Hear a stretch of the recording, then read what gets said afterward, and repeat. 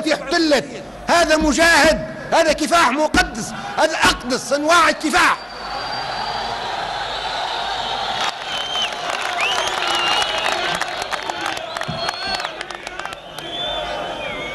Kama Gaddafi aliitwa dikteta, basi watu wanashangaa utawala wake ungekuwa wa kidemokrasia ungekuwaje? دقت ساعة الانتصار الأمام إلى الأمام ثورة ثورة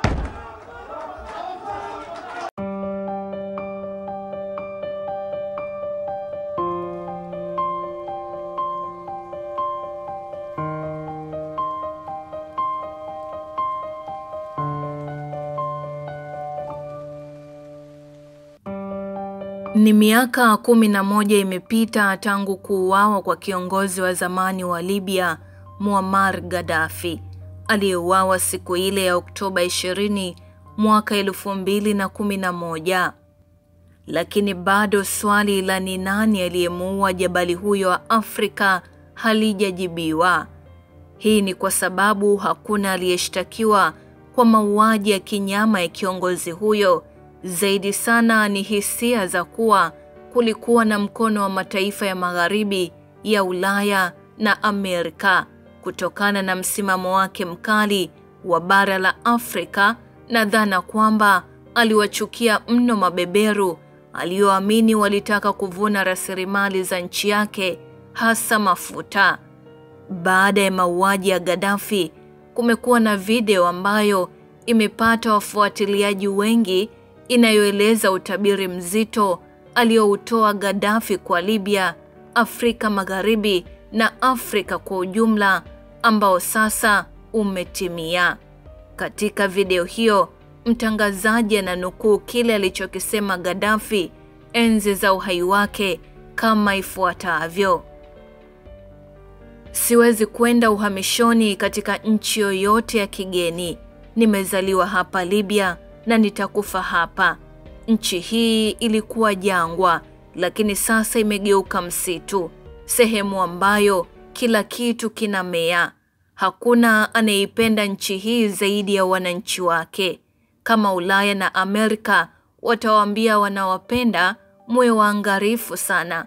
Wanapenda utajiri wa nchi yenu, mafuta, ila sio watu wake. Watawasaidia kupigana dhidi yangu, lakini itakuwa ni busara kupigana nao kwa sababu wanapigana dhidi ya maisha yenu ya baadaye na maendeleo yake. Ujumbe wangu kwa watu wa Libya ni kwamba wanawasaidia kuniua, lakini mtajutia kwa sababu mtateseka sana. Na ujumbe wangu kwa Amerika na Ulaya ni kwamba mtaniua, lakini muwe tayari kupigana na ugaidi ambao hautaisha. Kabla ya kujua ujinga wenu, magaidi watakuwa wanagonga milango yenu.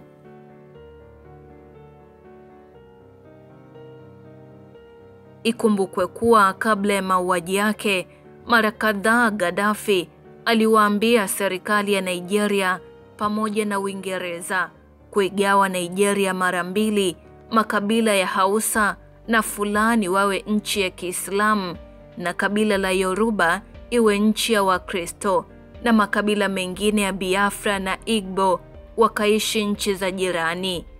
Ni dhahiri sasa mambo aliyoyatabiri Gaddafi yameanza kujionyesha waziwazi na mengine yameshajitokeza kote kwenye ukanda wa nchi za Sahel ambapo huko milio ya risasi inasikika kila kukicha kutoka kwa makundi ya waasi yanayodaiwa kufadhiliwa na mataifa ya Magharibi.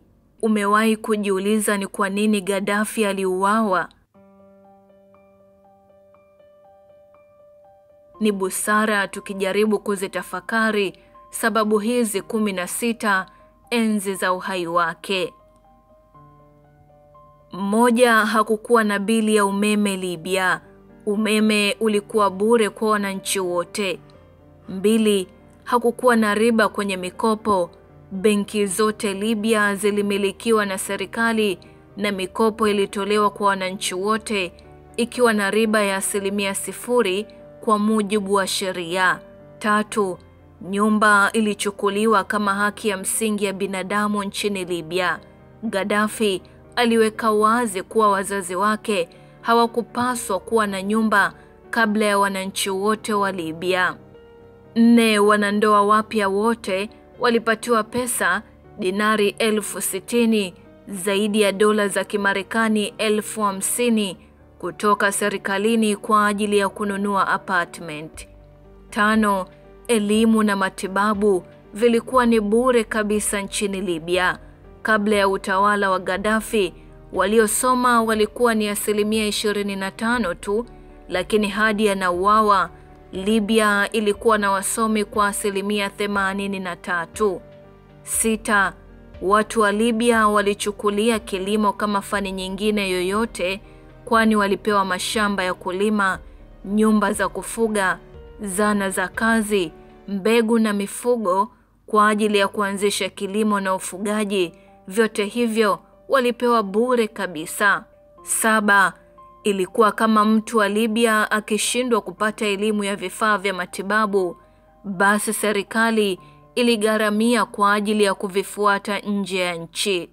Nane, katika Libya ya Gaddafi, kama mwananchi alitaka kununua gari, basi serikali ilimwongezea pesa kwa asilimia hamsini. Tisa, bei ya petroli nchini Libya ilikuwa ni dola sifuri nukta moja nne kwa lita. Kumi, Libya haikuwa na deni la nje, badala yake ilikuwa na akiba ya dola za Kimarekani bilioni mia moja na hamsini, lakini kwa sasa hakuna kitu na inategemea misaada ya kiutu kutoka mataifa ya magharibi. Kumi na moja, kama raia wa Libya alikosa ajira baada ya kuhitimu masomo, basi serikali hiyo ilikuwa inamlipa mshahara wa wastani kulingana na fani aliyosomea hadi pale atakapopata ajira. Kumi na mbili, kiasi fulani cha pesa ya mauzo ya mafuta ya Libya kiliwekwa kwenye akaunti ya benki ya kila mwananchi wa Libya.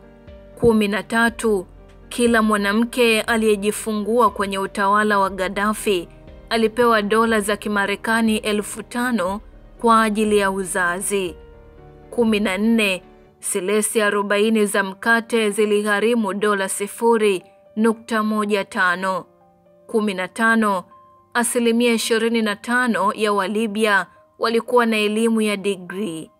Kumi na sita, Gaddafi alitengeneza mradi mkubwa zaidi duniani wa umwagiliaji uliojulikana kwa jina la Greatman Medi River na kufanya maji kupatikana muda wote kwenye nchi ya jangwa. Kama Gaddafi aliitwa dikteta, basi watu wanashangaa utawala wake ungekuwa wa kidemokrasia ungekuwaje? Imeandaliwa na Sifa Ilipo. Naitwa Nambawala. Kwa update zaidi ni kusi sana mtazamaji kuendelea kutufuatilia kupitia mitandao